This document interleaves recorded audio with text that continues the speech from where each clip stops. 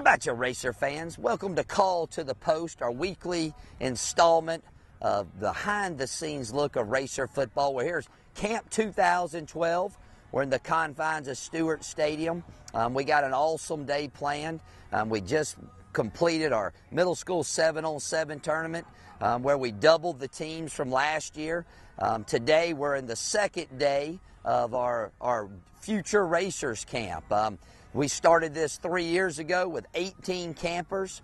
Um, we're glad to say we have 91 campers here um, this year. So we're excited.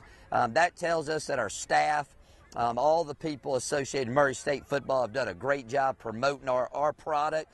Um, and just the excitement um, that we've generated with the, the future racers has been tremendous. We got an awesome day planned.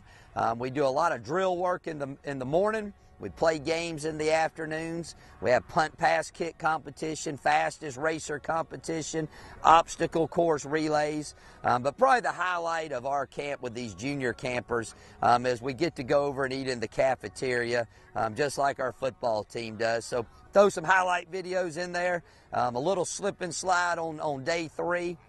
So it's an awesome day. We got some great footage um, of these youngsters learning the skills um, of how to play the game of football. Um, but more importantly, our job is to make them have so much fun that they want to continue playing and continue getting better at this great sport. As the week progresses, we'll go to our quarterback school. We've tripled the numbers um, in that particular camp. So we're excited um, about all the folks that will be coming out to that. And who knows, we may find the next Casey Brockman in that camp. And then on Saturday, we finish up with our senior mini camp. Um, we should have about 200, 250 um, upcoming seniors coming to show us um, what they have, and hopefully we can share a few things with them to make their team better um, come the upcoming fall. So, a lot going on with, with Racer football.